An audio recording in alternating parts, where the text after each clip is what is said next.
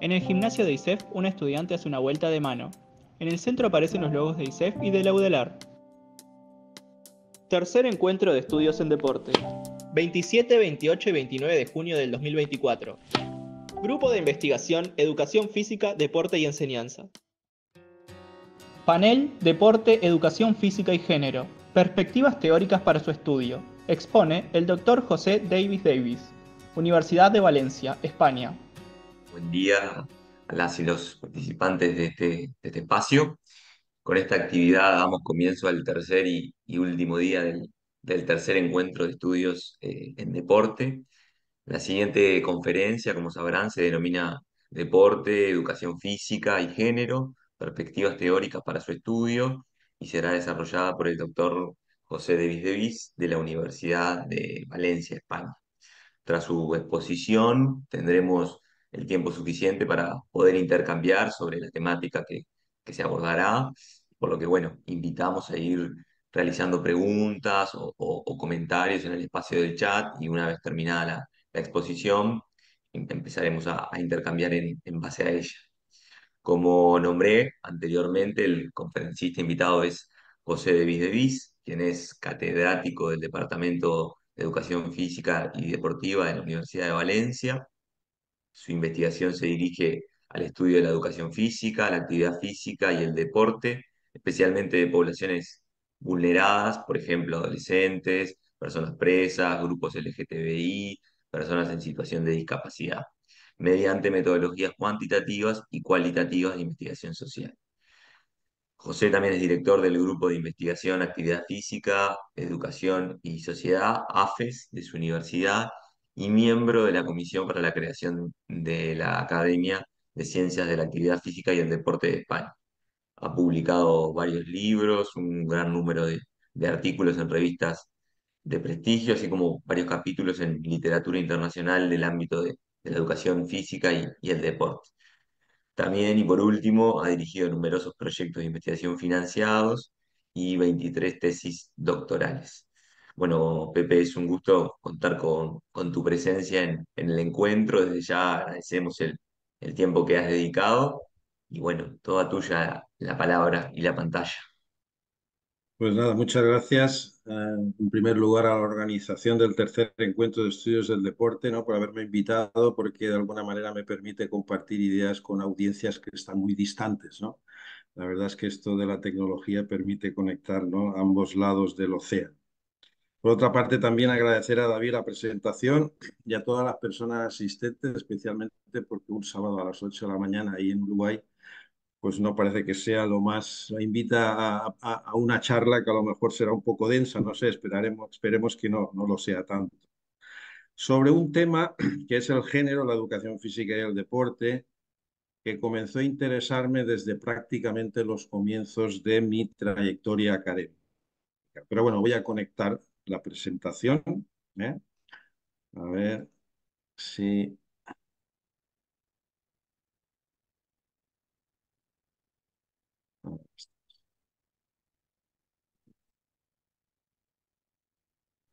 Ahí está, ya estamos. Sí, a ver si sale todo pantalla, a pantalla completa. Ahora. Muy bien, pues como yo digo, es un tema que, que me interesó desde prácticamente comienzos de mi trayectoria académica. Ya en 1992 hubo un congreso internacional en mi ciudad sobre coeducación en educación física, unas jornadas internacionales en las que participé con una ponencia sobre la comprensión del género en educación física. Era una oportunidad para ponerme al día en este tema y sobre todo porque permitía profundizar en determinados contextos, eh, conceptos y también pues actualizarme en las teorías fundamentalmente feministas que se dedicaban a la investigación ¿no? de, de, de la educación física y el deporte. Desde entonces han pasado 32 años, nada menos, y han ocurrido muchas cosas, ¿no? Además de hacerme mayor, pues ha habido también muchos avances, ¿no? En el ámbito del género, la educación física y el deporte que voy a tratar de recoger en lo que es esta presentación. Para abordar el tema, lo que voy a hacer de una manera lo más amplia o como he entendido yo que era más amplia, me apoyaré en tres periodos, ¿verdad? Tres periodos de, que implican cambios de mentalidad sobre aspectos que tienen que ver con el género, al menos en lo que se refiere al mundo occidental, ¿no? Y que también se superponen en el tiempo. He hecho esa diapositiva un poco para que veáis las tres, las tres, eh, los tres periodos.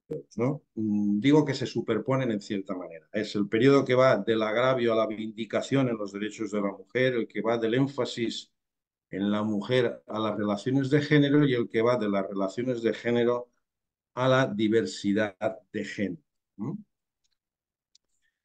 En realidad el primer periodo es un periodo muy amplio ¿verdad? Que se retrotrae mucho más atrás de lo que sería el origen de la palabra género, que es del siglo XX, y que de alguna manera conecta con lo que serían las pioneras mm, investigadoras sobre temas de mujer, ¿no?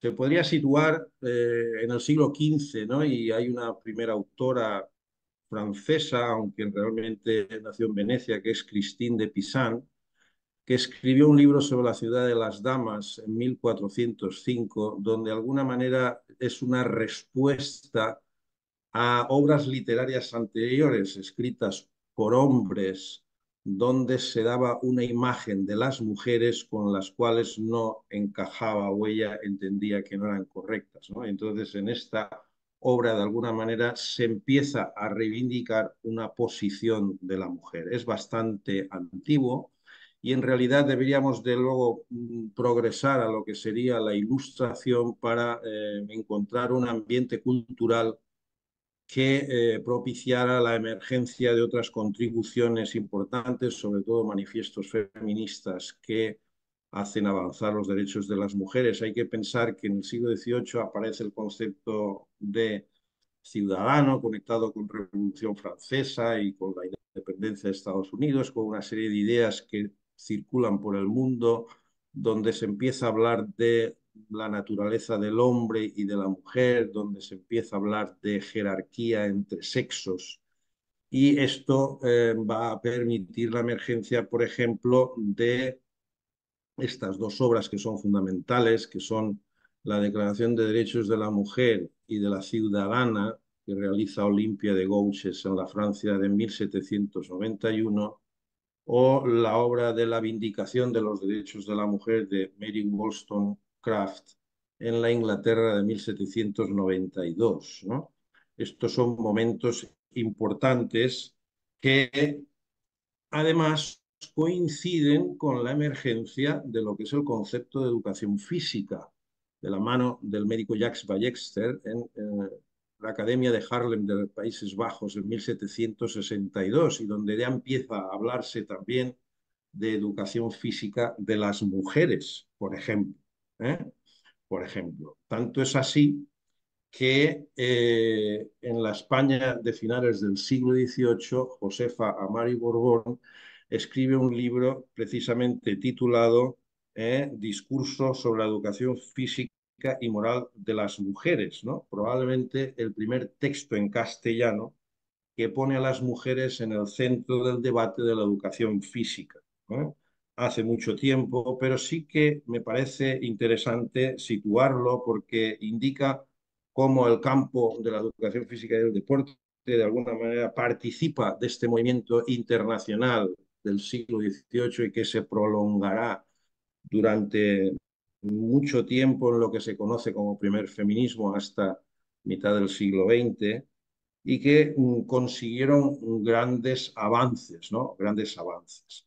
Eh, lo cierto es que desde esa época mm, hay, ese movimiento se ve implicado no solamente en mujeres, sino también en hombres que empiezan a cambiar en su discurso público un lenguaje y una manera de abordar lo que sería esa transición que yo digo, ese cambio de lo que es del agravio a la vindicación, es decir, de las quejas de cómo las mujeres dependen de los hombres o son abusadas o son de alguna manera están bajo la tutela de los hombres y cómo de esa queja, de esa situación se va pasando a otra situación en la cual el discurso ya no es de quejarse, sino de deslegitimar esa relación de dependencia y tratar de reivindicar, los derechos propios de las mujeres. Esto es, mm, se observa ya desde el siglo XVIII y digo que va a prolongarse prácticamente hasta la actualidad. Es una época en la que, no de una manera tan clara, pero ya empiezan a vislumbrarse conceptos que después van a utilizar las feministas, como puede ser la idea del concepto de opresión o la idea del concepto de desigualdad. Después sí que aparecerán de una manera clara. Y digamos que a pesar de los avances que existen y se producen durante todo el siglo XIX y partes del XX, eh, mm, mm, es un... Eh, periodo que se prolonga hasta la actualidad, ¿eh? porque sigue habiendo retos a los que hacer frente, porque actualmente se busca una igualdad real que no solamente se limita a una igualdad legislativa o sobre el papel, y eso hace que de alguna manera este periodo de reivindicación llegue hasta la misma actualidad en lo que Sheila Scraton, por ejemplo, denomina feminismo praxis, ¿no? Feminismo praxis. No obstante, debemos decir que hay un segundo periodo mucho más corto, mucho más denso de contribución para el estudio del género que va a empezar a mediados del siglo XX, ¿no? Y es donde se produce o se producirá a partir de entonces ese cambio del énfasis en la mujer a la hora de estudiar el género, entre comillas, ¿no? y se pasará a estudiar el género porque implica más cosas. Voy a tratar de mostrarlo en lo que son las diapositivas eh, siguientes. ¿no? Em, de alguna manera, esto es lo que responde a lo que sería el la segunda ola feminista. ¿no? A partir de mitad del siglo XX hay un movimiento social en favor de los derechos de las mujeres, mucho más de lo que había y heredado de las sufragistas del 19, que vienen desde las contribuciones iniciales del 18, que hace que muchos conocimientos que se generaron alrededor de todo este movimiento social lleguen a la academia, ¿no? Y en la academia se difieran y empiezan a surgir conceptos como el concepto de opresión, el concepto de igualdad de acceso, de oportunidades, de trato, de respeto junto a otros como el de patriarcado, división sexual del trabajo, la familia, la sexualidad, la relación entre lo público y lo privado. ¿no? Esto ya en el siglo XX y junto a estos conceptos surgirá también el concepto de género. ¿no? El padre del término es el doctor John Money, que eh, en el contexto de sus relaciones con pacientes intersexuales tenía la necesidad de definir los roles femeninos y masculinos de sus pacientes y que fueran diferentes a los de eh, las características biológicas. Este término que surge en esa época será apropiado por algunas feministas porque em, responde muy bien a sus necesidades, ¿no? De alguna manera el concepto mm, permite cuestionar lo que entonces se consideraban diferencias biológicas entre hombres y mujeres.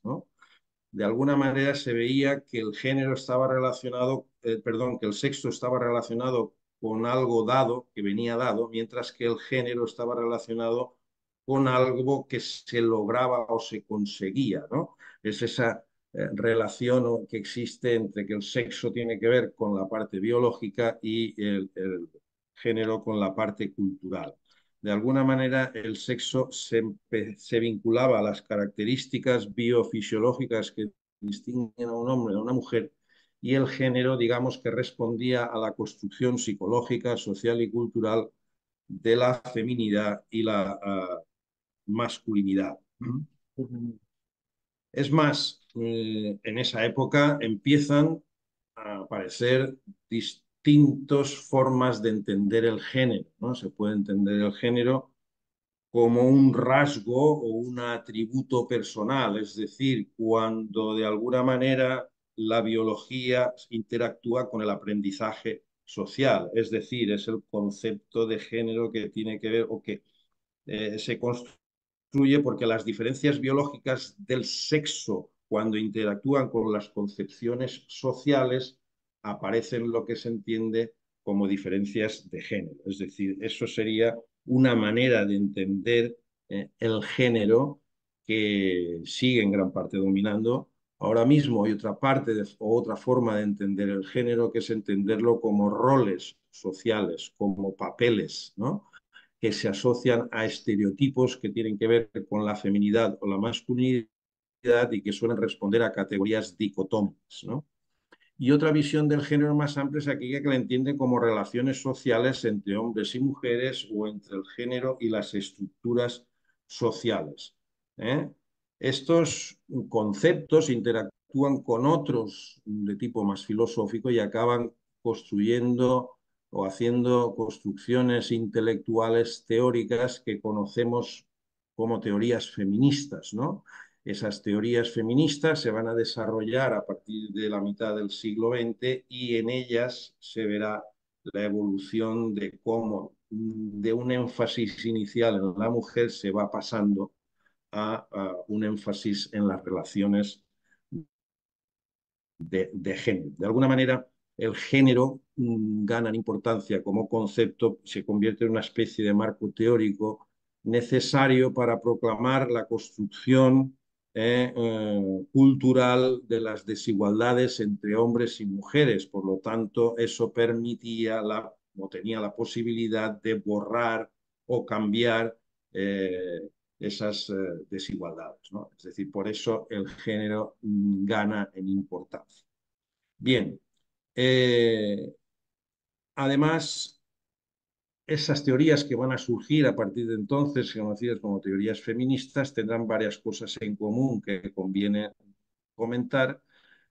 Por ejemplo, toman el punto de vista de las mujeres, se oponen a la opresión que sufren las mujeres, si bien es cierto que dependiendo del tipo feminismo tendrán una visión de, de todo tipo de opresión o más bien se limitarán a ver o enfocarse a las discriminaciones, también eh, reconocen una especie de hermandad entre las mujeres. ¿no? Así es como se construirán y aparecerán las teorías feministas de esta segunda ola del feminismo que se concretaría en el feminismo liberal, feminismo marxista, feminismo radical o feminismo socialista.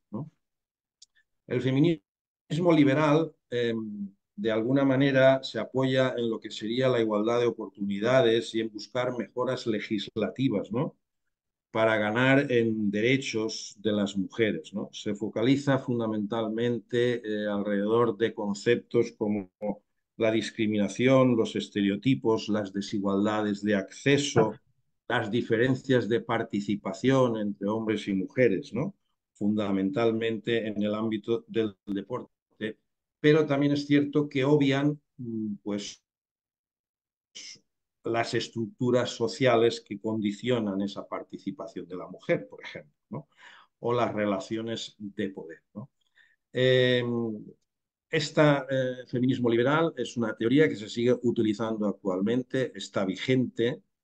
Desde el punto de vista metodológico, digamos que responde más bien a investigaciones cuantitativas, aunque también pueden existir estudios cualitativos relativos al feminismo liberal. Por ejemplo, estos son dos ejemplos de investigaciones publicadas, están en castellano. Eh, hay una de ellas que es un estudio de casos cualitativo y por lo tanto también puede haber un enfoque liberal desde ese punto de vista. ¿no?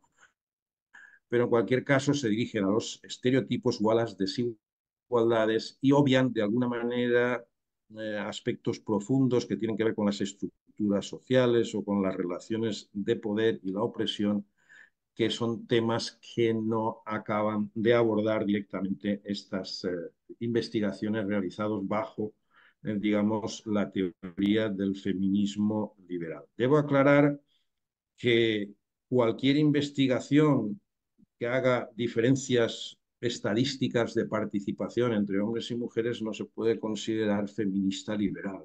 ¿eh? Para considerarse una investigación feminista liberal debe de haber lo que ahora conocemos como perspectiva de género. Pero es decir, hay que, desde el, el elemento del género o de las desigualdades deben ser el foco central, el marco teórico debe de estar desarrollado desde el principio en este tipo de investigaciones y marcar lo que va a ser el desarrollo metodológico, la obtención de resultados. ¿no? En ese momento sí que podríamos decir que esa investigación sería o respondería o se desarrolla dentro del paraguas teórico del feminismo liberal. El, perdón.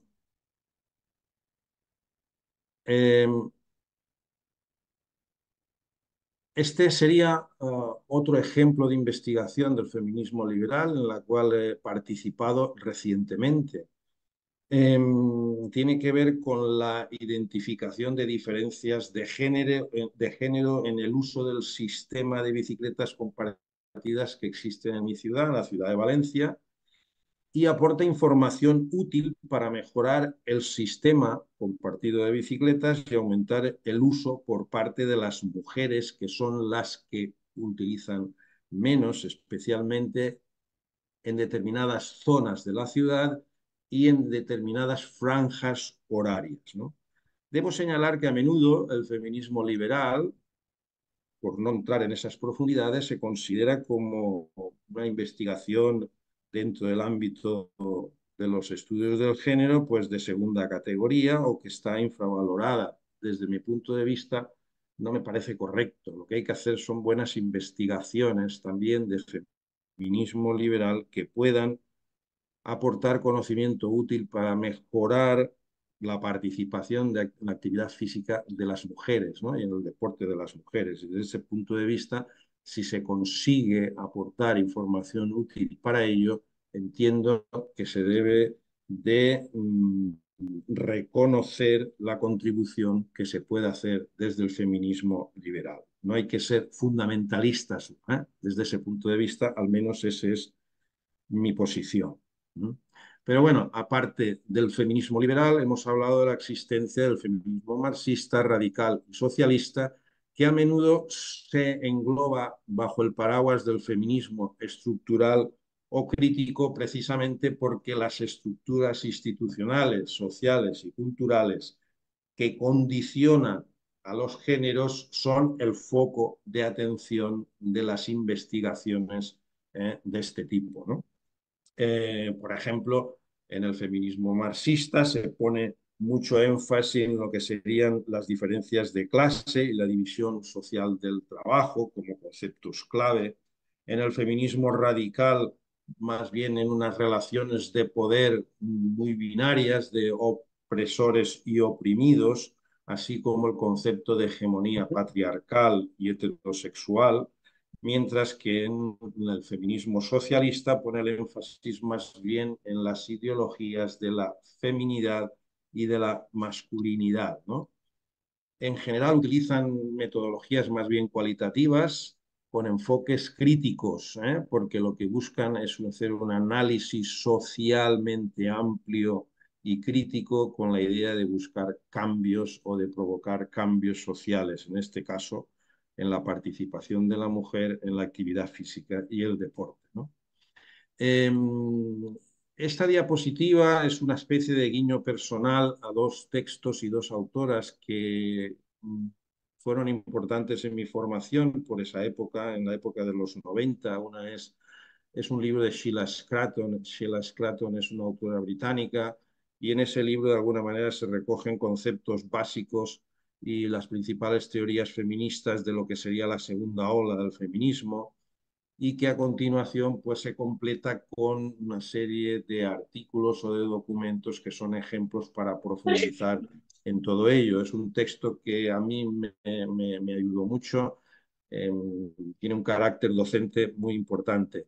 Eh, el segundo es de una autora canadiense, Anne que tiene una gran actividad en el ámbito de la historia. Ella también ah, tiene varias contribuciones en el ámbito del, feminismo y en este libro se abordan conceptos claves y avances y progresos dentro de lo que sería el feminismo estructural, ya apunta a nuevas teorías que después hablaremos de ellas. ¿no? Y para mí me parece importante mencionar en, ahora que estamos hablando de estas teorías feministas. Pero más allá de las contribuciones teóricas que yo creo que son importantes, debería mi intención es poner ejemplos ¿no?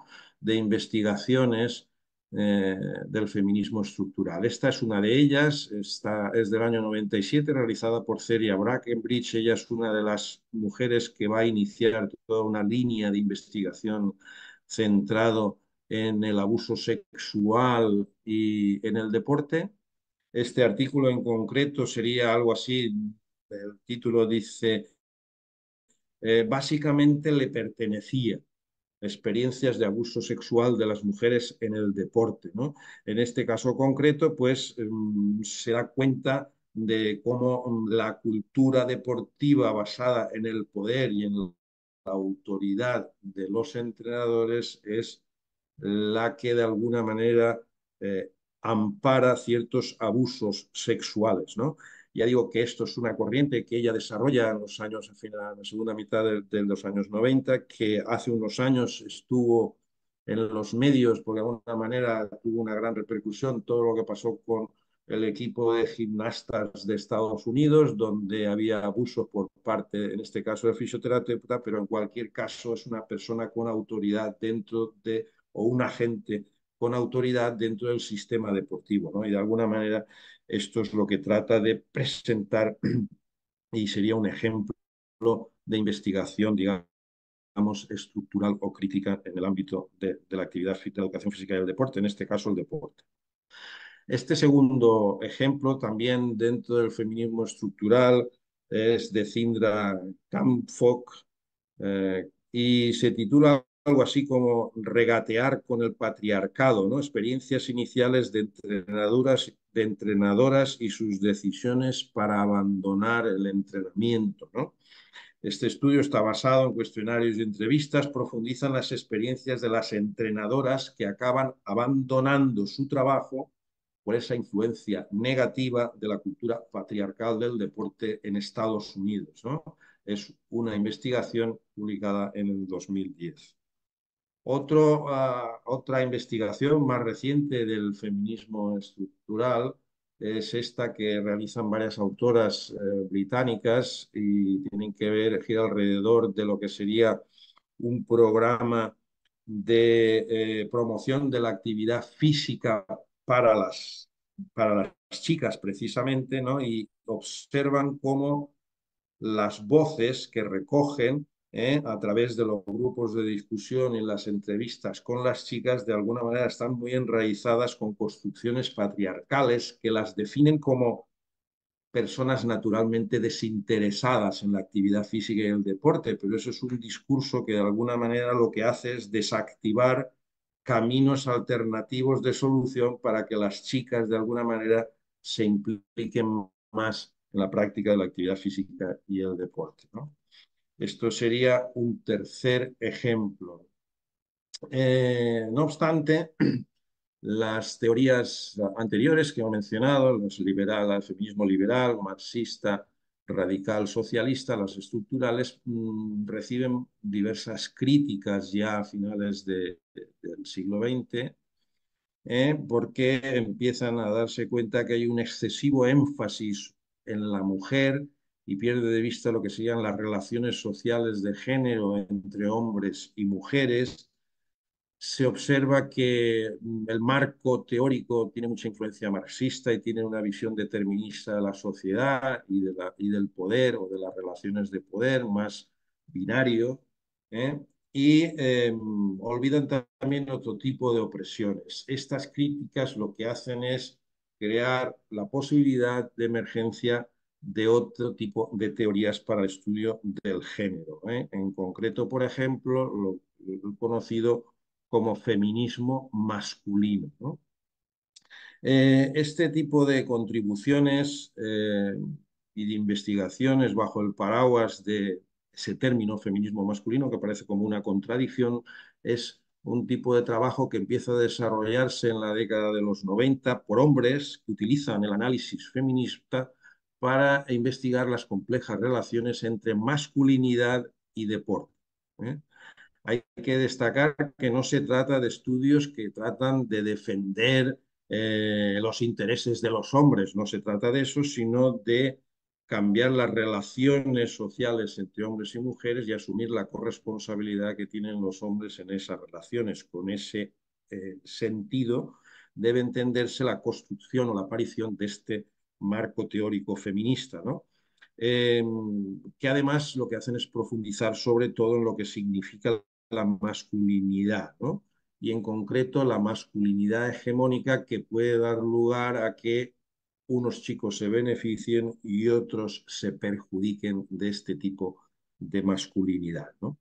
Existen dos libros que también quiero mencionar con un cierto guiño personal eh, porque han sido importantes en, el proceso de formación, en mi proceso de formación y además yo creo que son claves también o sea, no solamente ya por el guiño personal, es el libro de, que se llama sería Deporte, Hombres y el orden social del género, perspectivas feministas críticas, ¿no?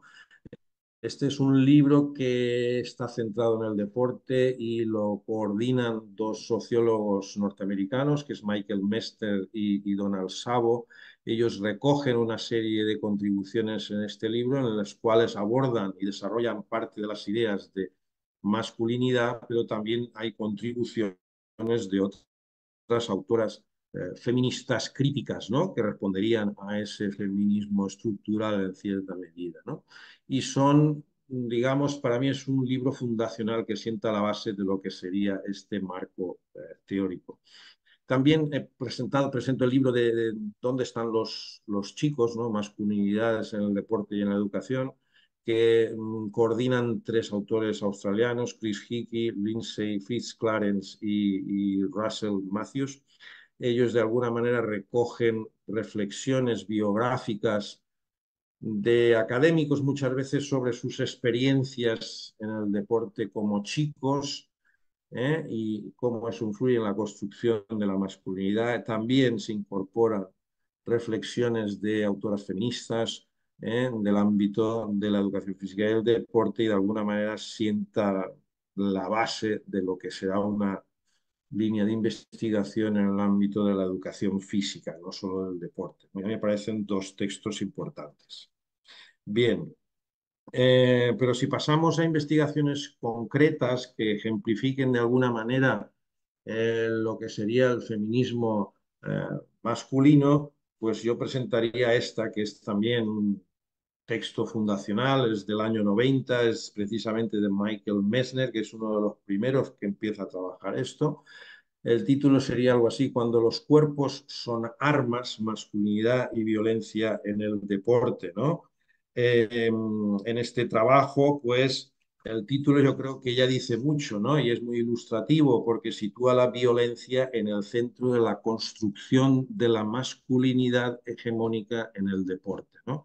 Este es un estudio que realizó eh, con entrevistas de finales de los 80 a 30 eh, deportistas de, cierto nivel en los deportes más significativos de Estados Unidos, como era fútbol americano, béisbol, baloncesto y atletismo. Em, esta rama del eh, feminismo masculino también arraiga, como ya he dicho y presentado en el libro anterior, en el ámbito de la educación física. Este sería una investigación realizada por Peter Branham, em, que lo que hace es, mm, digamos, em, fijarse en cómo las actividades que realizan los chicos en educación física están muy mediatizadas por diversos procesos de competencia y de redes de amistad de dentro y fuera de la escuela que acaban construyendo una masculinidad hegemónica entre los estudiantes de educación física.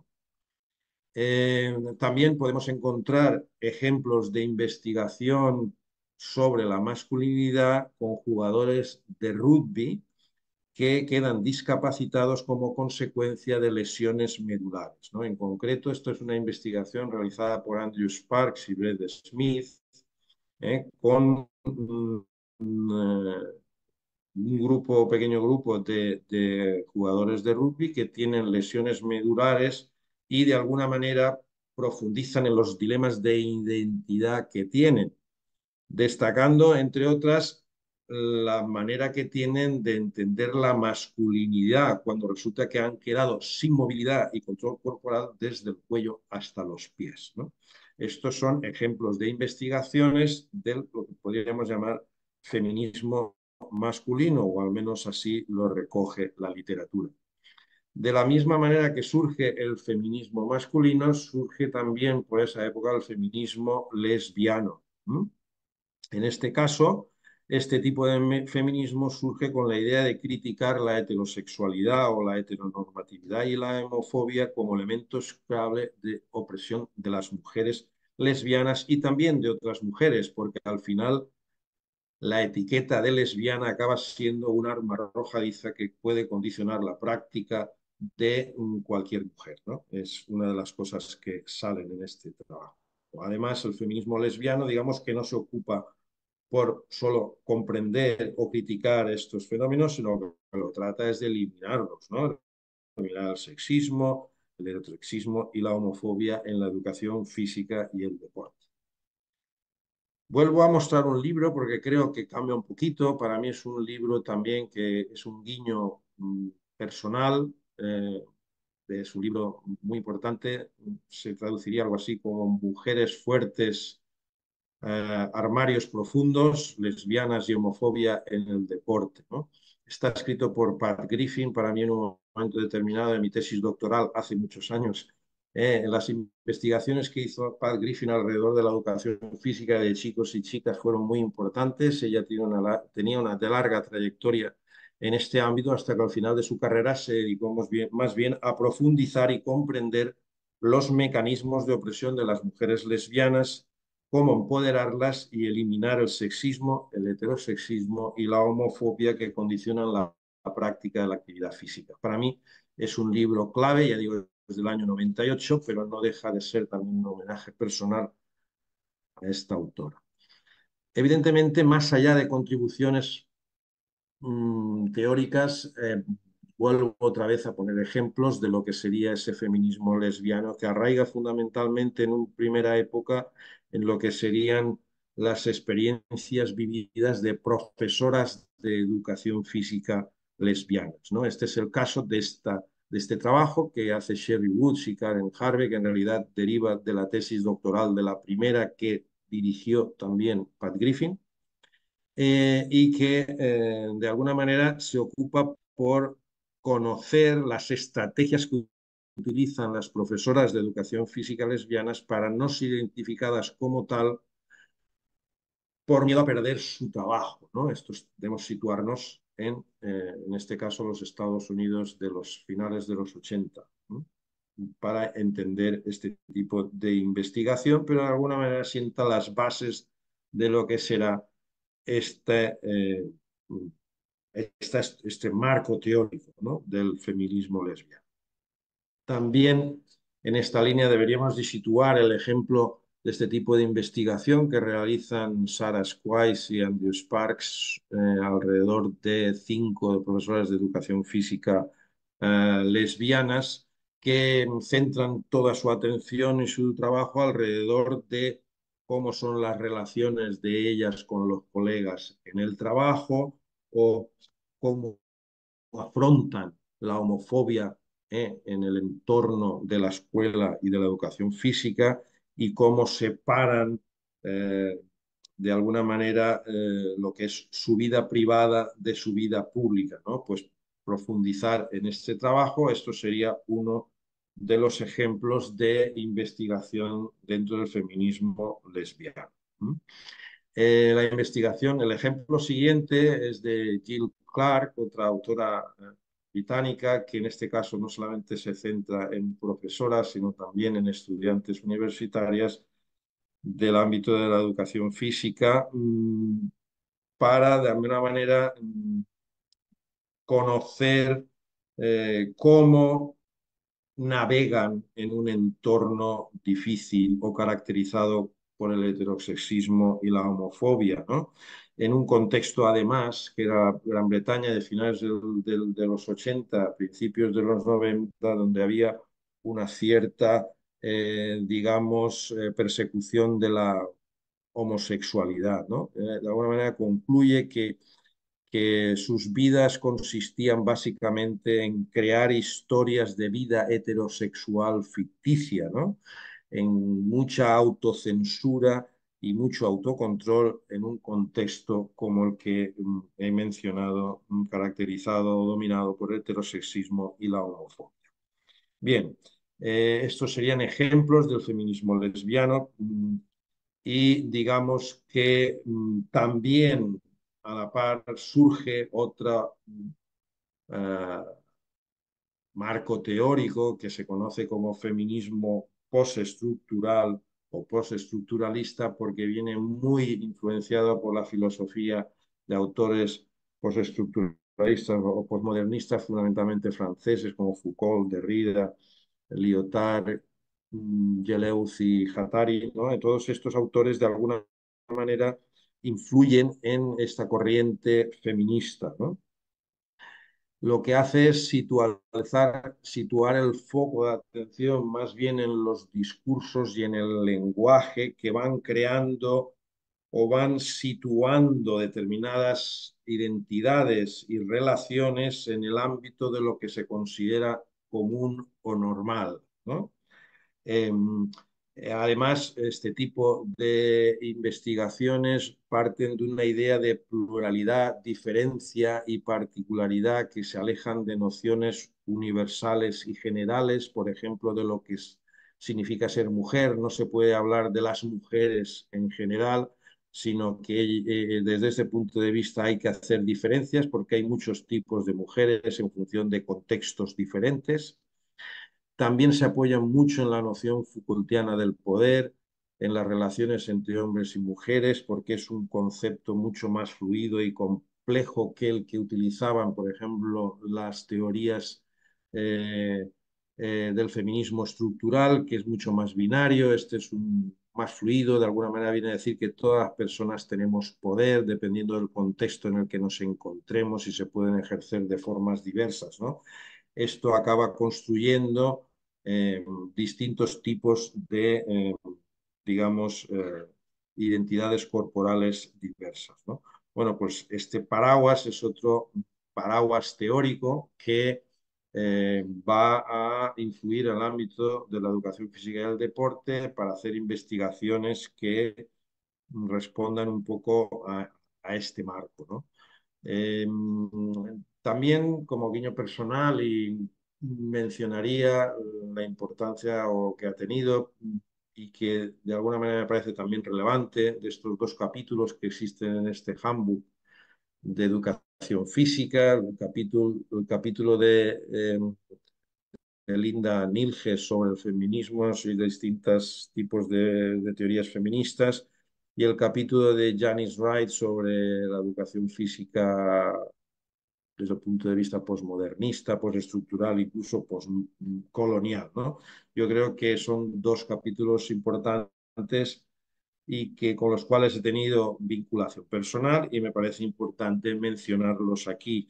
De alguna manera, em, digamos que este tipo de, de feminismo, el postestructuralista, utilizará metodologías también fundamentalmente cualitativas y narrativas, pero como dice Janice Wright, debido a que tiene un interés especial por los discursos y el lenguaje, habrá un tipo de investigaciones especialmente influidas por el análisis del lenguaje y ella considera que ese tipo de investigaciones son tipo de investigaciones o metodologías especialmente eh, postestructuralistas. Bien, veamos ejemplos. El ejemplo, por ejemplo, eh, que muestro en esta diapositiva es de Janice Wright, es una de sus primeras eh, investigaciones que derivan en parte de su tesis doctoral también, hecha en los años finales de los años 80.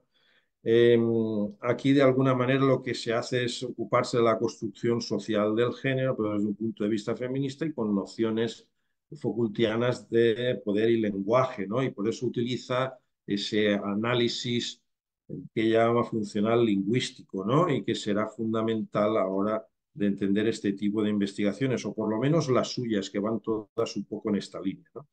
Eh, lo que viene a decirnos es que el lenguaje acaba posicionando a profesorado y alumnado en relación con determinados discursos de masculinidad y feminidad a los cuales se aproximan eh, mm, las personas. También como ejemplo de investigación feminista postestructural mm, traigo este que se realiza en el ámbito concreto de la gestión deportiva. Lo realizan Sally Soy y Elena Hoeven, estudian lo que serían discursos de masculinidad que vienen a decir que los hombres son mejores en la gestión deportiva, que confrontan con, discursos de feminidad que vienen a decir que las mujeres son peores en la gestión deportiva. En cualquier caso, el título para mí es también muy definitorio del tipo de investigación. Viene a decir algo así como eh, un hombre fuerte es directo y una mujer directa es una puta.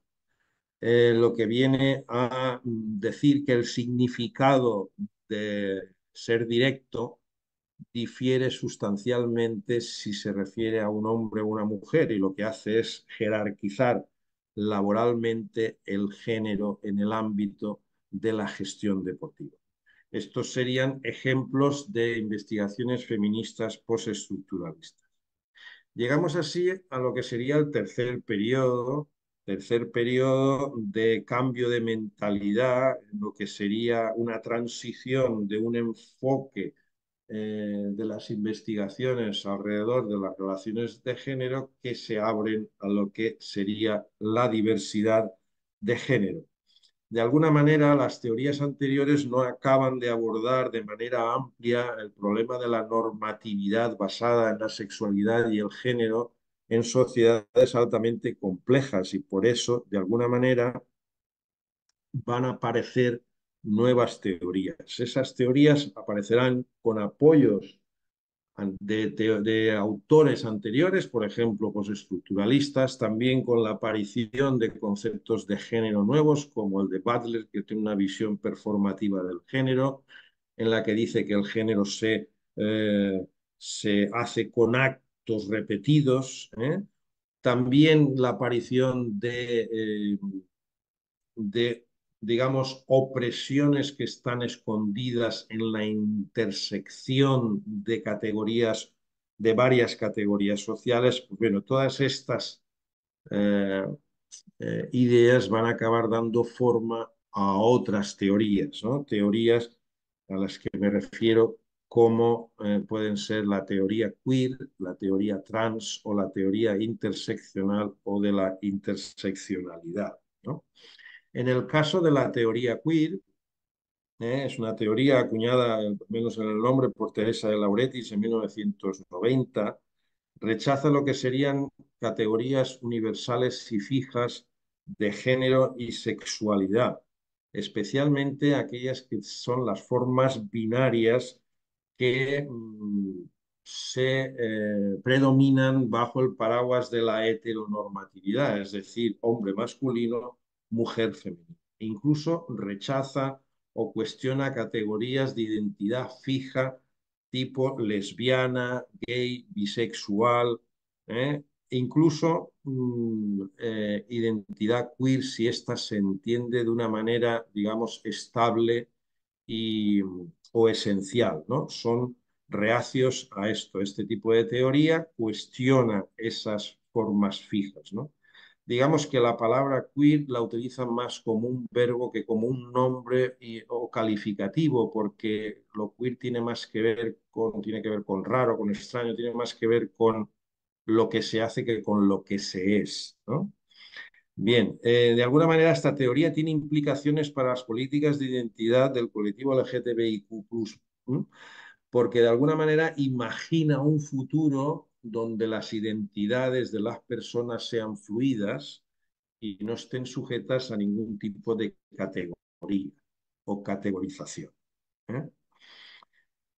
En este sentido, también mostraría dos textos, dos libros, dos libros que, diferentes que tienen cierto interés. El primero porque de alguna manera recoge contribuciones más bien teóricas al ámbito del deporte, eh, que mm, de alguna manera profundizan en aspectos que tienen que ver con la teoría queer y que está coordinado por Jane Caldwell. ¿eh? El segundo es un libro que deriva de un proyecto de investigación realizado por Heather Sykes. Ella es norteamericana. Em, y en este libro lo que hace es explorar cómo los estudiantes de educación física negocian el heterosexismo, la transfobia y la gordofobia en educación física. Esto es interesante porque de alguna manera mm, amplía el concepto queer más allá del ámbito de la sexualidad y el género. De alguna manera se abre a otras esferas dimensiones que se salen de la normatividad. La teoría queer de alguna manera lo que hace es resistir y retar lo considerado como normal, ya sea en el ámbito de la identidad sexual, de la identidad de género, en el ámbito del comportamiento, en el ámbito de la apariencia corporal o en el ámbito de la forma corporal. En este caso puede ser formas ¿eh? gordas u obesas. Bien, estamos acabando, a ver si avanzamos, ¿no? Eh, como ejemplos de teorías en este estilo, pues podía mencionar estas de autores eh, finlandeses, de Marja y Paivi, que de alguna manera lo que hacen es centrarse en el pensamiento del profesorado cisgénero y alumnado LGTBQ ¿eh? sobre la discriminación en educación física y cómo conseguir mayor igualdad. También este otro trabajo de autoras británicas que de alguna manera lo que hacen es plantearse el potencial que tiene la educación física para reproducir, alterar y transformar ¿eh? el discurso del binario de género, ¿no? mediante una investigación narrativa. También podríamos hablar, como otras teorías, la teoría trans. ¿no? La teoría trans es un, teoría transgénero lo que hace es surgir porque hay una gran diversidad de experiencias transgénero que no son capaces de explicar las teorías anteriores. ¿no? Las identidades transgenéricas son de una gran variedad, pueden ser binarias o no, fluidas y sin género. La corporalidad además tiene un papel muy importante, ¿no? Mm, em, porque de alguna manera puede resultar en experiencias de disforia o negativa o de euforia y positivas, ¿no? También la idea de transición de género es algo, um, es un proceso complejo que no es puntual, sino que puede durar toda la vida y está mezclado con em, las interacciones sociales de la vida diaria. Y la educación física y el deporte para las personas trans de alguna manera vienen a ser una especie de tecnologías del yo, es decir, instrumentos que se utilizan para conseguir de alguna manera alcanzar esas identidades corporales deseadas. ¿no? Bien, eh, como ejemplos de este tipo de teoría e investigaciones puede ser un estudio que realizamos en nuestro estudio de casos que realizamos en nuestra facultad con estudiantes nuestros para que imaginaran mm, personas trans en contextos de educación física y deporte porque estos estudiantes se van a encontrar en un futuro o pueden encontrarse con personas trans. Los resultados de alguna manera presentaban una amplia diversidad de eh, imaginaciones que iban desde la abyección y el rechazo a la alteridad o el reconocimiento, ¿no? Aquellos que de alguna manera se situaban en la eyección, de alguna manera justifican claramente su rechazo. Los que están en el otro extremo de la alteridad respetan a las personas trans, pero aún así todo tiene una capacidad limitada para entender que es una persona eh, transgénero y se sitúan otros en un término intermedio que son tolerantes con otras normalidades, pero de alguna manera eh, mm, no acaban de aceptar del todo a las personas trans. Nosotros concluimos que es muy importante una ética de la alteridad del otro para avanzar en el, la imaginación moral de las personas transgénero. Otro estudio es el que realiza Agnes Selin, ella es una autora de Países Bajos, que lo que hace es recoger las experiencias de un grupo de hombres y mujeres trans en el ámbito de la actividad física y del deporte antes, durante y después de la transición y ver qué papel juegan las actividades deportivas en cada uno de este, en, este proceso, ¿no? de alguna manera. Eh, este es otro que estudio mm, reciente que de alguna manera lo que hace es poner el énfasis más bien en los placeres corporales que encuentran las personas trans el ejercicio y el deporte, lo que llaman euforia de género, porque gran parte de las investigaciones que se realizan en este campo desde esta teoría tienen una visión más bien negativa de sus experiencias. ¿no? Bien, nos quedaría finalmente hablar de lo que es la teoría interseccional. ¿no? La teoría interseccional lo que hace es poner el enfoque en sistemas entrelazados de opresiones, desigualdades y relaciones de poder. Se preocupan más bien por la, perdón, por la complejidad dentro de contextos y entornos específicos Mm, se debe considerar por igual las distintas categorías de análisis, género con edad, con edad, género con raza, por ejemplo, en igualdad y de alguna manera presentan un compromiso muy claro de inclusión y de búsqueda de justicia social. Entre los ejemplos, pues aquí situaría uno de Sheila Scraton, que he mencionado desde el principio de mi presentación, de Jane Cowell y Samantha Holland, que son autoras británicas, y de alguna manera se centra en la interacción entre género y raza en el fútbol. En, concreto, eh, esta investigación lo que viene a decir es que el fútbol en Inglaterra predomina una lógica masculina de raza blanca que afecta a las experiencias de iniciación y desarrollo de las mujeres blancas o no en este deporte. Un segundo ejemplo tiene que ver con de, de estos autores norteamericanos que eh, centran la interacción entre género y discapacidad visual de las alumnas y lo que vienen a encontrar es que la participación de este colectivo es realmente limitado, que las expectativas que tiene el profesorado de estas alumnas es realmente bajo y que estas alumnas sufren experiencias negativas en parte en sus relaciones con compañeros y compañeras de clase. Un tercer ejemplo puede ser este de Jane McGovern, que de alguna manera eh, eh, eh, profundiza la interacción de la clase, el género, la raza y la generación de lo que serían deportistas, em, deportistas latinas en Estados Unidos. ¿no? Los resultados de alguna manera vienen a decir cómo las chicas latinas de clase baja e inmigrantes le dan poco valor al deporte y tienen menos recursos para tener acceso al mismo, sobre todo si se comparan con las chicas latinas de clase media que ya han nacido en Estados Unidos.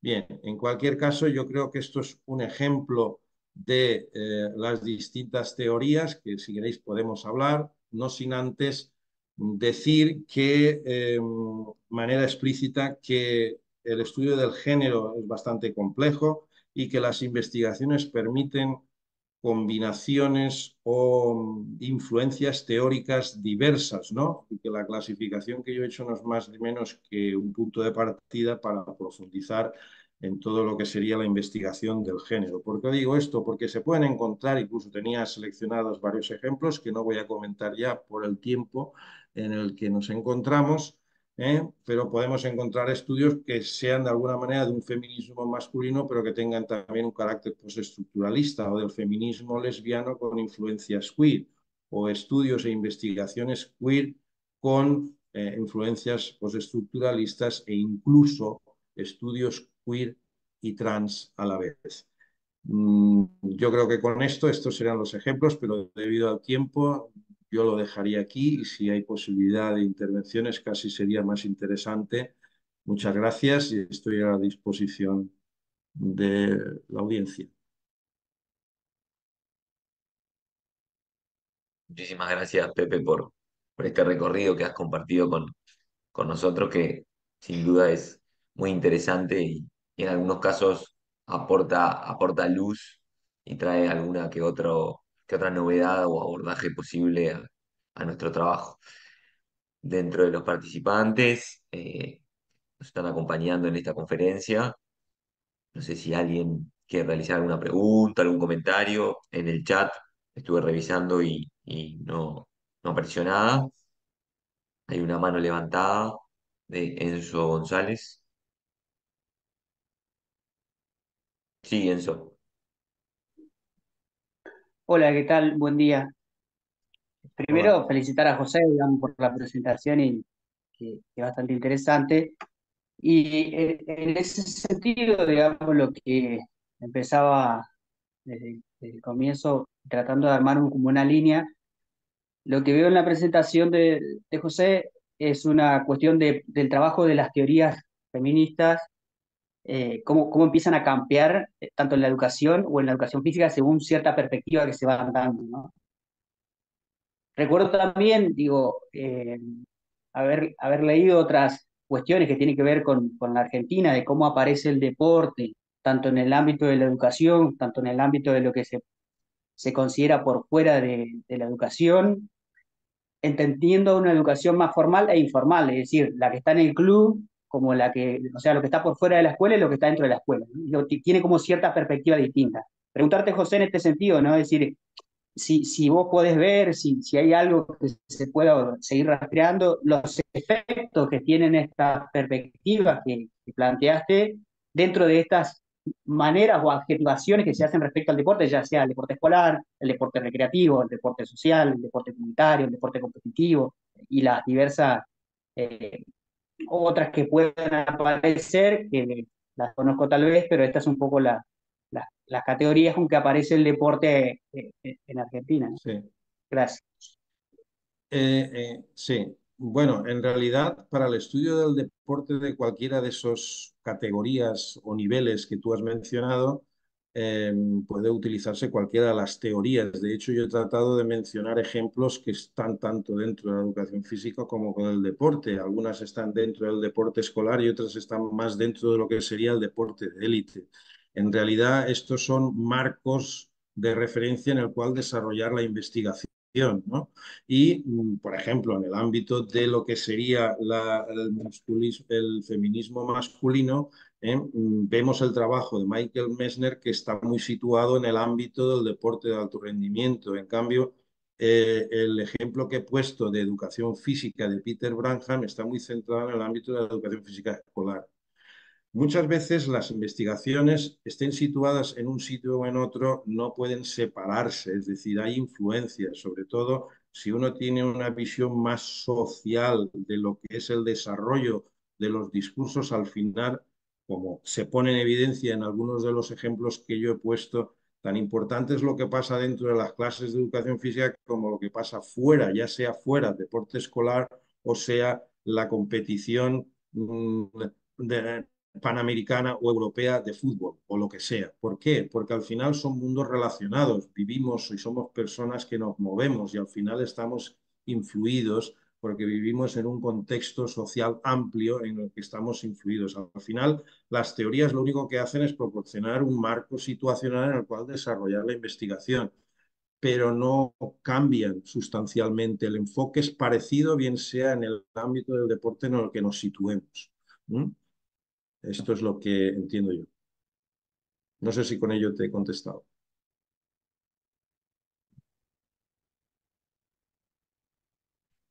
Gracias, Enzo Pepe, por la respuesta. Bien, levantamos alguna otra pregunta, algún otro comentario más.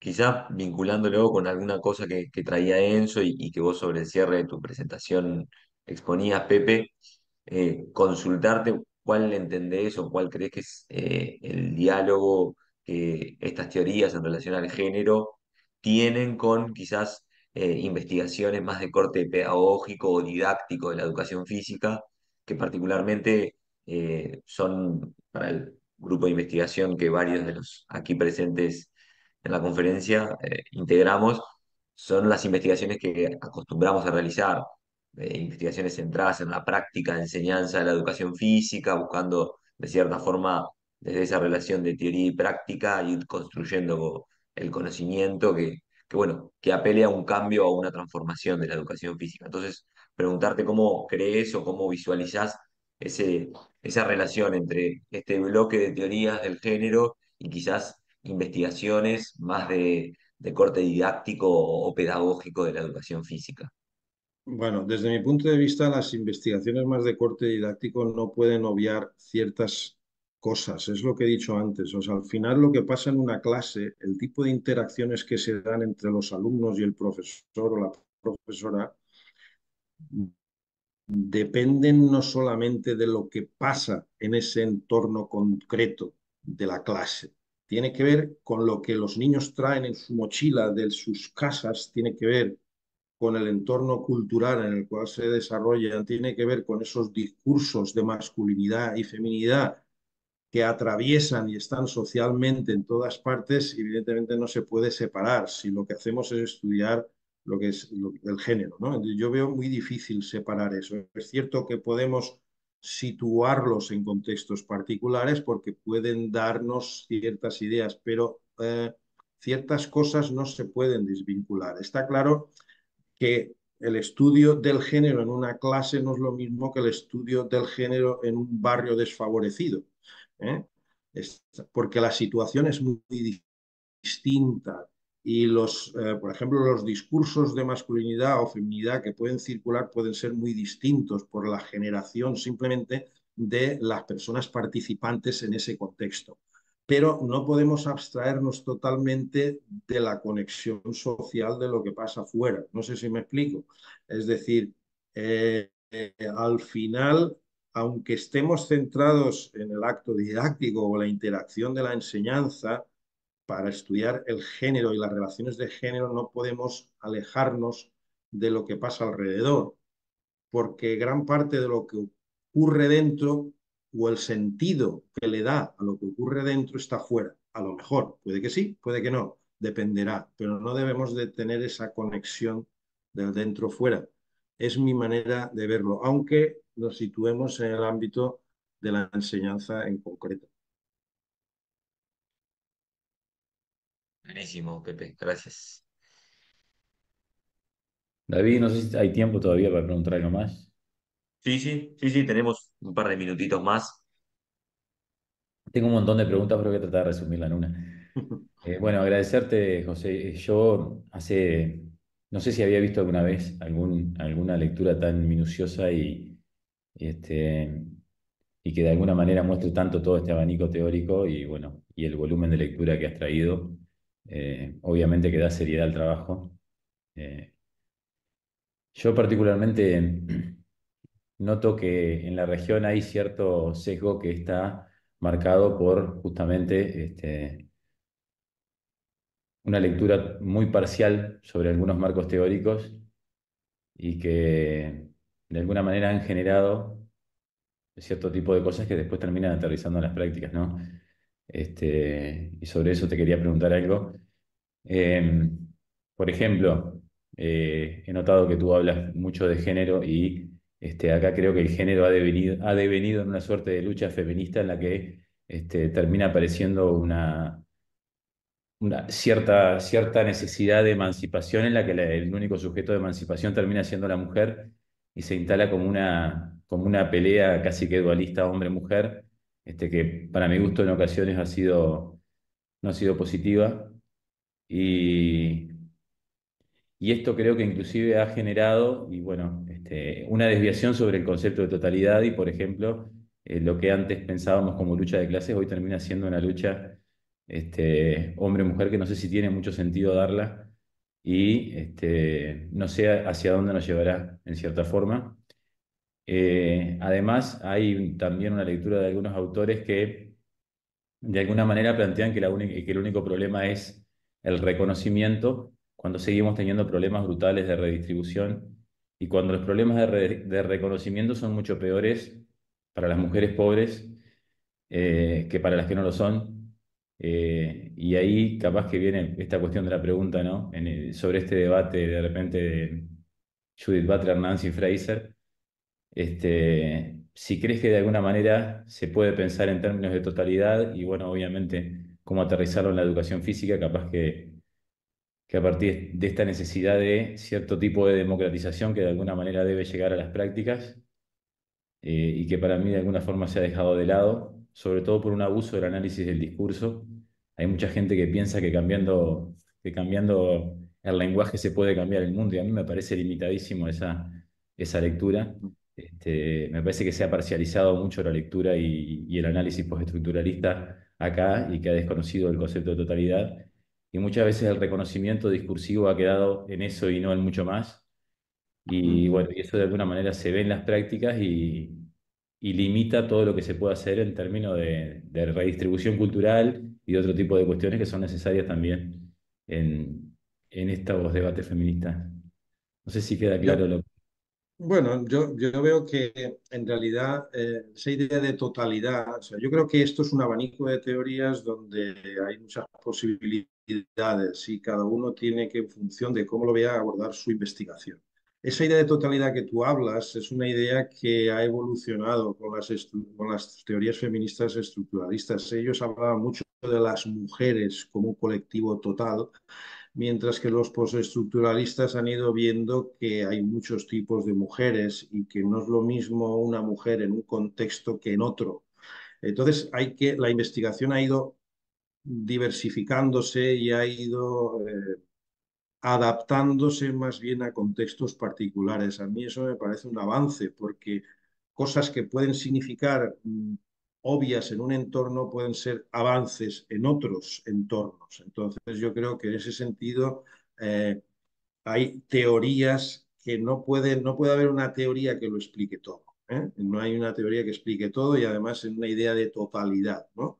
Lo que sí que es importante es entender también que a lo mejor se puede fraccionar en exceso, como tú dices, hay ciertas cosas que se han fraccionado, son como puntos de vista. Por eso yo creo que entiende existen esas combinaciones teóricas que lo que hacen es no limitarse a un enfoque.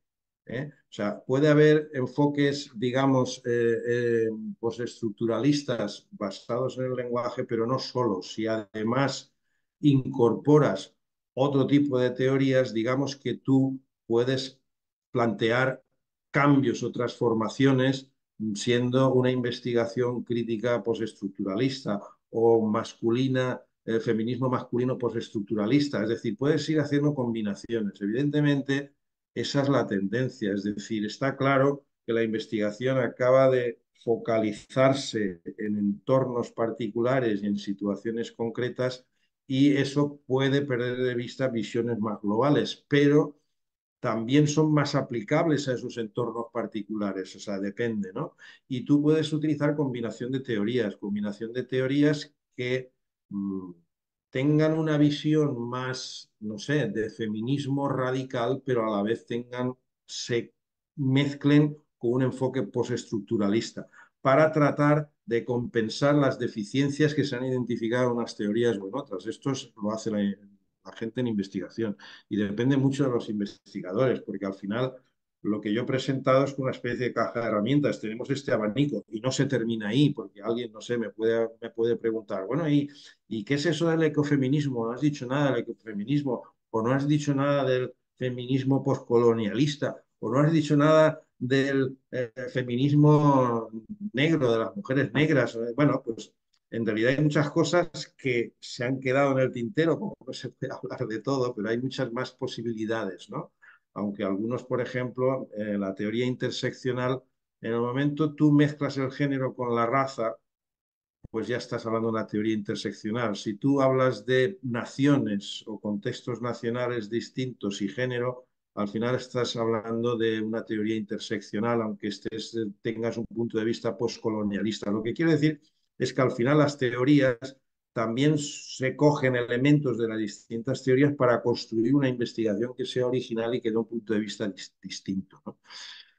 ¿no? sé si con esto te he respondido a, tu cuestión, que era una cuestión muy amplia, pero entiendo que, bueno, es, forma parte del debate y el enriquecimiento ¿no? de, de, este tema, que para mí es un tema complejo y que siempre se quedan cosas fuera. Por ejemplo, alguien puede pensar, es que claro, en el primer periodo no hay investigación. Toda la investigación se sitúa a partir de la segunda ola. Y yo puedo decir, no, gran parte de la investigación histórica que se realiza sobre el género está situada en el periodo del siglo XVIII y XIX, porque lo que busca es desentrañar cómo se fue gestionando la participación de la mujer en el deporte, cuáles fueron sus barreras, y además en contextos particulares, porque no es lo mismo un entorno que otro. Entonces, esa investigación histórica también es una investigación de género, aunque a lo mejor no encaja exactamente aquí, depende de qué perspectiva. ¿eh? Entonces, quiero decir que el tema es bastante complejo, ¿eh? es bastante complejo y seguramente hay cosas que quedan fuera de mi intervención. Soy consciente de algunas de ellas, puede que otras a lo mejor no lo sea tanto, porque es un abanico muy amplio y bastante complejo, ¿no? Y además de, interés actual, yo creo.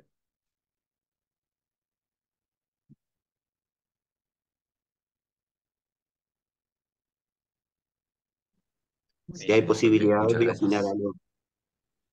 Sí, Fabián. Eh, bueno, primero gracias, gracias a José y gracias a ustedes por compartir esto que parece muy interesante.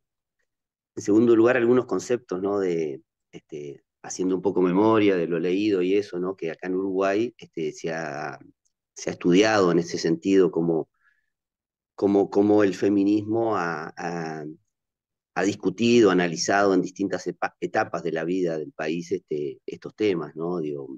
Claramente que, a principios de, del siglo XX hubo corrientes feministas como la liberal, la religiosa y la bajista, con sus divisiones internas también que hicieron que, que estos temas se discutieran ya desde hace mucho, ¿no? Este, Uruguay tiene como, como de avanzada la legislación en el tema del voto femenino, en ese sentido, ¿ah? y, y, por supuesto que hay algunas diferencias con lo que puede suceder y los estudios que puede haber en el mundo y en España en particular, ¿no? Cuando tenemos una educación que desde casi sus orígenes de la educación moderna es este, mm, eh, niños y niñas están juntos en, en, los salones y en las aulas y en la escuela. ¿no? Eso con los estudios que hoy se hacen en ese sentido y con el tema de la violencia como presente en los estudios de hoy, que, que, dicen que, bueno, que, la presencia de niñas y, adolescentes en, en, las aulas y en los lugares de, de, de educación este, generan mucho menos violencia que la que hay en otros lugares en donde no está presente la mujer o las niñas, este, bueno, también este, aporta algo a, nuestra, a nuestras posibilidades de estudiar y de avanzar en ese sentido. Es como un popurrí de temas que me parece que, bueno, que, que, este, que esta charla ha sido como, como, como inspiradora en ese sentido. Me parece también que hay otras cuestiones que tienen que ver, que lo planteaba José Luis por ahí, que tienen que ver con, con, con lo discursivo, ¿no? Digo, yo no digo de quedarnos en lo discursivo, que por supuesto que hay otras este, injusticias a nivel social que tenemos que trabajar y todo lo demás, pero evidentemente que aquello que no se nombra, que aquello que no se dice, eh, evidentemente que no existe, ¿no? Eh, y después cómo eh, el afuera impregna el adentro de, vamos a decir, del sistema educativo, ¿no? Evidentemente que si uno, uno coloca como expectativa o como imagen el deportista de élite, cuando va uno a una clase eh, escolar, evidentemente que también tiene determinadas expectativas con respecto, o imágenes con respecto hacia dónde va su, su, su, su perfil o su educación, ¿no? Entonces, en ese sentido también uno puede tener expectativas mayores y más en este país con respecto a niños que a niñas, ¿no? Este, y bueno, y, y, así sucesivamente podemos ponernos a pensar porque eh, hoy por, ejemplo, hemos sido todos varones lo que hemos hablado, ¿no? Entonces, en ese sentido, tenemos que pensar también dónde está el valor o el reconocimiento de la voz, en este caso de las mujeres. Bueno, hablé de muchos temas, este, perdón, y gracias. Gracias. No tengo nada que decir. Gracias, Fabián, por, por compartir las sensaciones que te generó el, el espacio. Alguna mujer, alguna mujer ¿no? hablar. bueno. Bueno, si dentro de los, los y las participantes no hay ninguna consulta, ningún comentario más al respecto, entiendo que estaríamos dando por cerrada esta, esta conferencia. Ah, Marcela, perdón. Este, buenos días. Hola. Qué placer, este, permiso, te voy a llamar Pepe, por poder compartir contigo este espacio. Soy de Argentina, de la Universidad Nacional de La Plata, y estoy en la cátedra de Didáctica Especial 2, orientada a la escuela secundaria. Y pensando todo esto que has expuesto, más lo que nuestros compañeros han, han compartido, eh, me sumo a pensar en esto en clave de lo importante que es eh, tener una visibilización acerca de estas realidades, sobre todo en los contextos em, de los jóvenes y de las identidades de los adolescentes que hoy habitan en, en nuestro territorio argentino. Y no está afuera de nuestras clases de educación física, lo percibimos, lo sentimos, lo compartimos, simplemente tenemos que entiendo que empezar a, reconstruir nuestras prácticas ¿no? en, esta, clave de diversidad. Y cuando uno pasa lista, decir, Pedro, Juan, no, yo soy María, ¿cómo te gustaría que te llame? María, ok, María. Y estar preparados para eh, eh, salir adelante de estas situaciones, ¿no? Y la escuela, eh, esto está muy instalado en nuestras escuelas y, verdaderamente tu exposición fortalece, o a mí personalmente me, fortalece para seguir pensando en esta clave, ¿no? del género, de, que en, estos tiempos tenemos que profundizar estos espacios de diálogos para ver qué sucede en Uruguay, qué sucede en Argentina y establecer redes. Así que eh, muchas gracias y aquí estamos fortaleciendo también desde tu perspectiva. Gracias. Muchas gracias. Yo estoy de acuerdo en que el tema de la diversidad es clave. El tema de la diversidad en su sentido más amplio, bien sea sexual, de género, diversidad de cuerpos, ¿eh? diversidad de habilidades. A mí me parece lo realmente el reto, uno de los retos más grandes que tiene la educación física, efectivamente. Nuestras clases secundarias aquí son mixtas, de primero a sexto año, así que ahí también hay un trabajo que tenemos que fortalecer en la escuela secundaria desde esta, esta mirada, ¿no? Efectivamente. Gracias. A ti.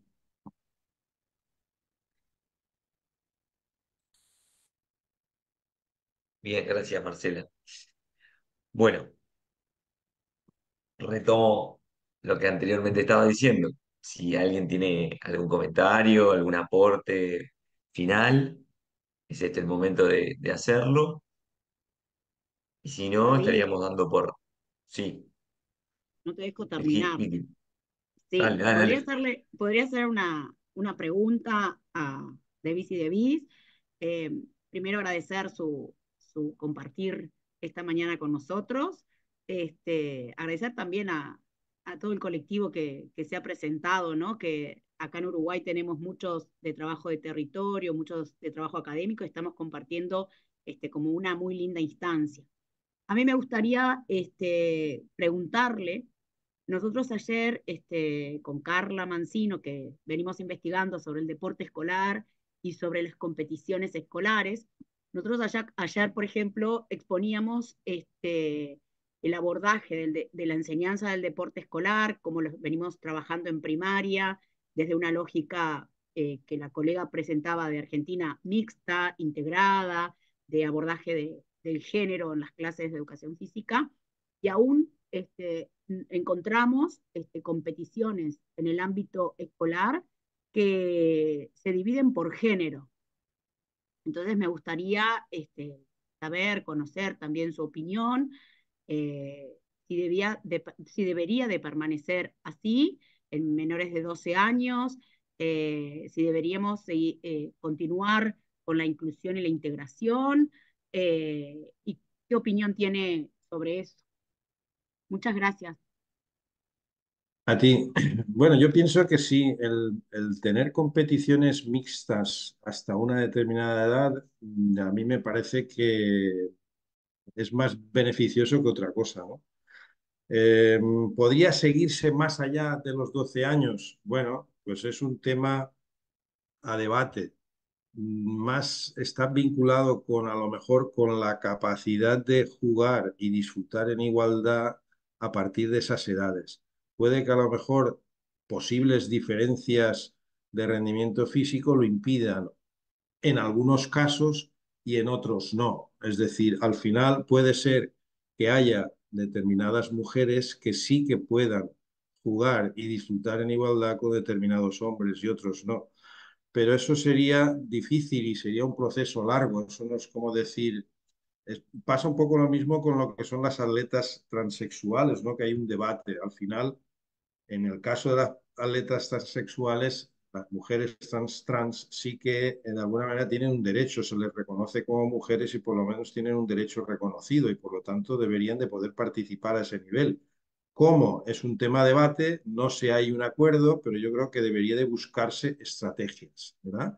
Para poder conseguir llegar a encontrar esa participación. Pero aún así todos serían casos muy puntuales, son poca gente, no son tanta gente.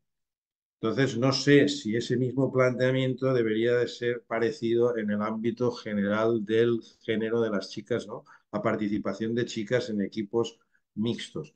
Es muy probable que a determinadas edades no funcione, no funcione porque no puedan disfrutar en igualdad chicos y chicas por diversas cuestiones ¿eh?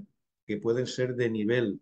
Entonces, pero sí que algunas chicas podrían jugar con chicos y algunos chicos jugar con chicas, es decir, debería de ser un poco flexible y a lo mejor tener una estrategia diversificada, no general, decir, todas las chicas pueden jugar desde como quieran con los chicos, no, sino a lo mejor admitir bajo ciertos criterios, no lo sé, es un tema difícil, pero es posible que eso se pueda en un futuro, no lo sé y muy vinculado, a, es muy parecido a la temática de las mujeres trans, para muy parecido.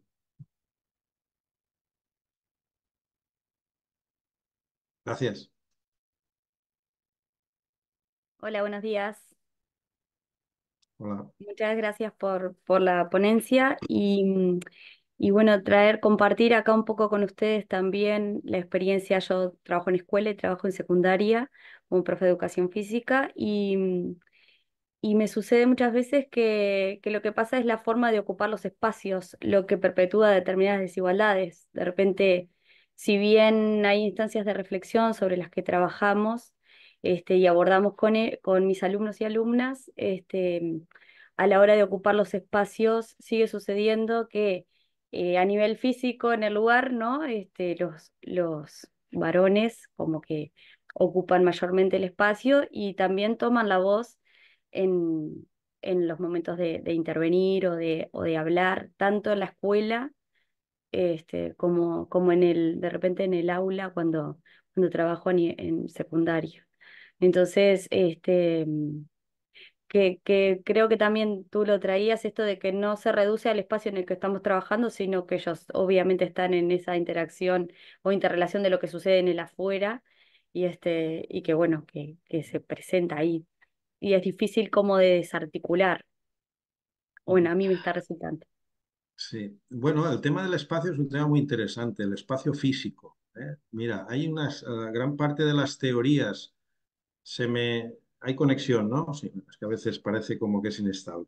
Mm, muchas veces las actividades que realizamos las personas dependen del espacio y si modificamos el espacio estamos cambiando el comportamiento de las personas. Si nosotros hacemos carriles bici, la gente va en bicicleta. Si no hacemos carriles bici por la ciudad, la gente no va en bicicleta. O sea que a veces la creación de espacios y la modificación de espacios condiciona la conducta de las personas. Eso pasa igual en una cancha deportiva. Es decir, si yo pongo el espacio, de una cancha deportiva de handball y la divido en áreas y digo, los chicos solo pueden moverse en esta área, mientras que las chicas pueden moverse en todo el campo. Estoy cambiando el protagonismo que tú me estás diciendo que está condicionado porque ellos lo ocupan todo.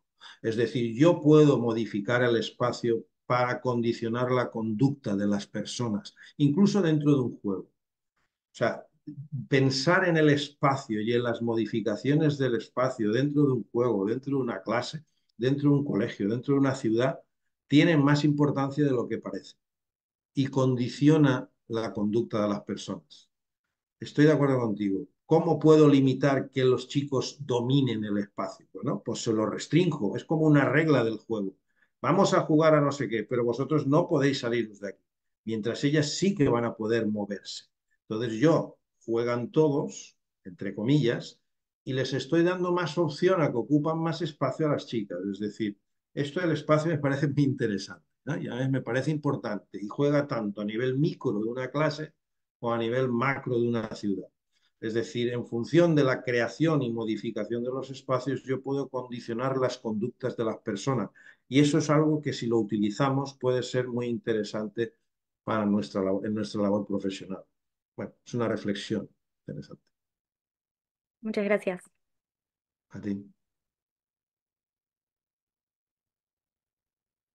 Bueno, estando en, la hora marcada para, incluso un poquito pasado para finalizar la conferencia, eh, creo que es momento de agradecer nuevamente a, a Pepe y creo que este es como el puntapié inicial, ese punto de partida para seguir intercambiando con, en relación a este tema y, no el punto de llegada en, ningún caso, por el contrario, es como el inicio para, para que se genere ese, ese intercambio. Em, de nuestra parte, Pepe, te agradecemos, quedamos eh, en comunicación y bueno, te, despedimos. Quienes deseen continuar, eh, en Ana Peri, la, la, la, la coordinadora del, encuentro, va a estar dando paso al, al cierre formal de, del encuentro. Eh, y bueno, Ana, te doy la palabra a vos, Pepe, te agradecemos, te despedimos muchas gracias a, las órdenes. A la organización por, por permitirme compartir este tiempo con vosotros y vosotras. Muchas gracias. En el gimnasio de ISEF, un estudiante hace una vuelta de mano. En el centro aparecen los logos de ISEF y de la UDELAR. Tercer encuentro de estudios en deporte. 27, 28 y 29 de junio del 2024. Grupo de investigación Educación Física, Deporte y Enseñanza.